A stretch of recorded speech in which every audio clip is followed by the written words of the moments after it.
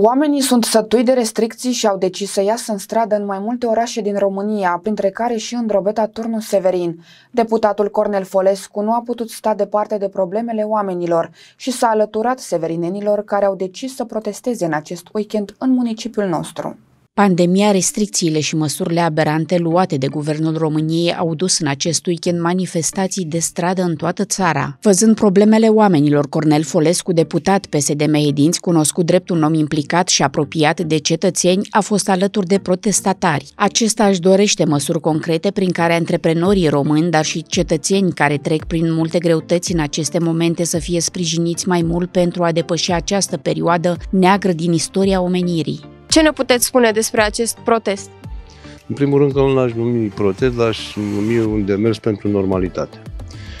Și vă spun asta pentru simplu motiv că în actualele condiții o serie întreagă de activități se văd nevoite a se restrânge sau și mai, mai rău să, să, să se închidă.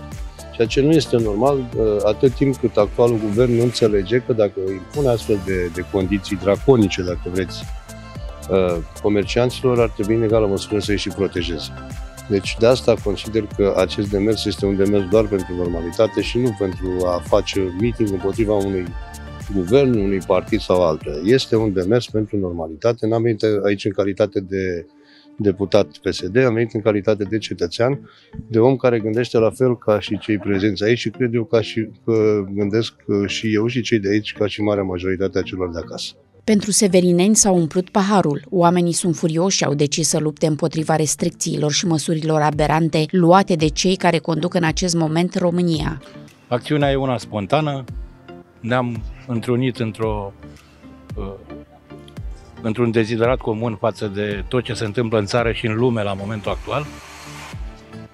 Încercăm să, să ieșim cumva din starea asta în care ne bagă autoritățile, autoritățile care conduc lumea politică în ziua de astăzi în România, partidele care, prin legile pe care le dau și prin impunerile pe care ni le fac acum, ne duc într-o situație în care România n-a mai fost niciodată.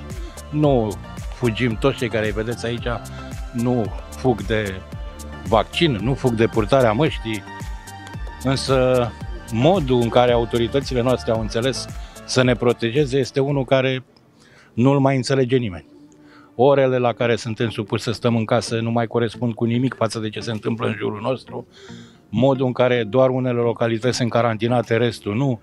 Uh, totul a fost într-un, într-o dezorganizare totală față de ce se întâmplă în situația de pandemie.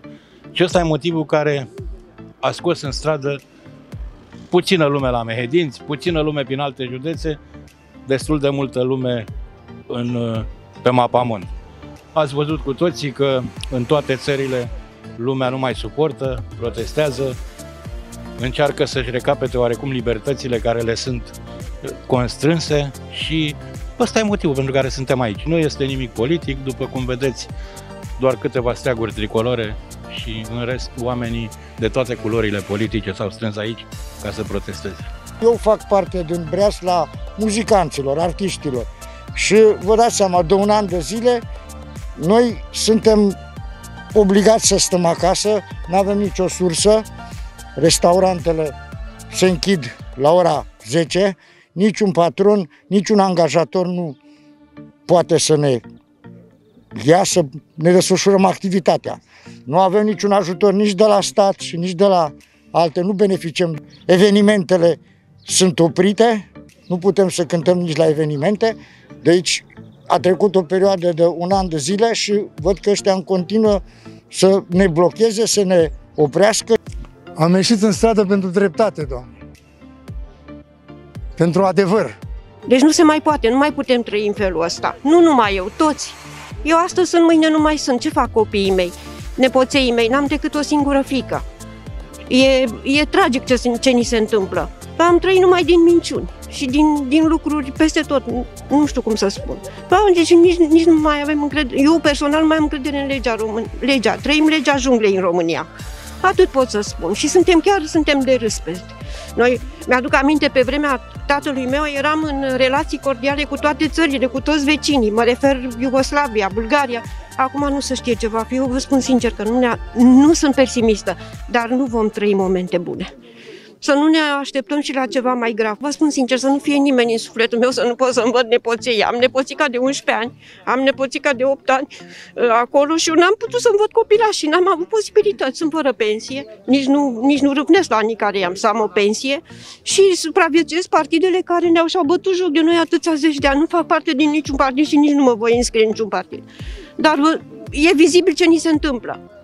E vizibil ce ni se întâmplă, nu vizibil, și, și suferim. Este salutară implicarea deputatului Cornel Folescu în acțiunile civice din orașul nostru, pentru că cetățenii au nevoie de sprijinul și susținerea oamenilor politici, mai ales în actualul context social. De asemenea, se pare că lupta pentru libertate va continua și în perioada următoare, măsurile restrictive fiind considerate de cetățeni un exces de zel al autorităților, care închid tot fără să vină în schimb cu măsuri concrete în sprijinul antreprenorilor români, dar și al cetățenilor defavorizați.